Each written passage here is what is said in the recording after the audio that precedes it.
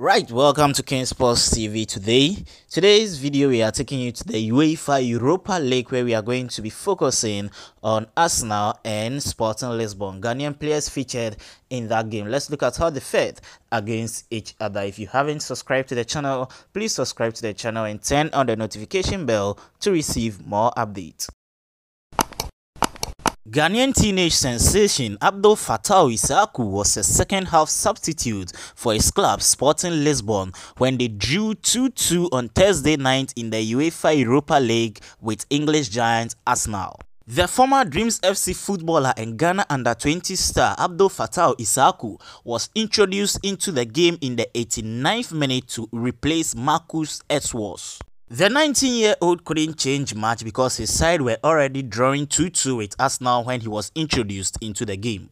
William Saliba got the first goal for the Gunners in the 22nd minute but unfortunately Gonçalo and Paulinho equalized and got the second goal for Sporting Lisbon also.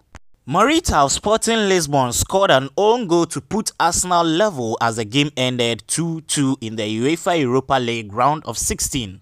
Abdul Fatawu Issahaku was not the only Ghanaian in that game. Ghanaian midfielder Thomas Partey also played for Arsenal as he came on in the second half to replace Jorginho.